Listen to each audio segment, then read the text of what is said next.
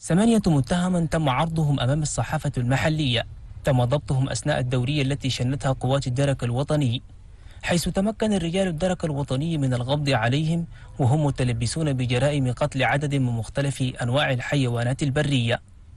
وعند عرضهم أمام حاكم ولاية سلامات عبد الله إبراهيم صيام قال إن هؤلاء الصيادين الغير شرعيين سيحالون للقضاء للرد على أفعالهم.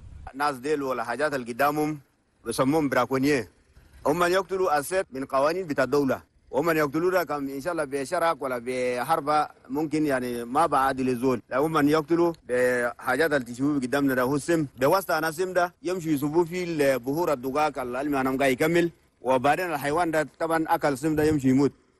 كم مات ده كان فتيس كم ما فتيس يمشي يصلخوه يودوه يشكوه في سوقنا أسواقنا البلد ده. فرنا مثل سوقنا أماتيمان. وأسواق التانين بتاع البلد. أنا ناظر المواطنين عشان يعملوا حسابهم شديد. بس ده ممنوع أنا زيادة.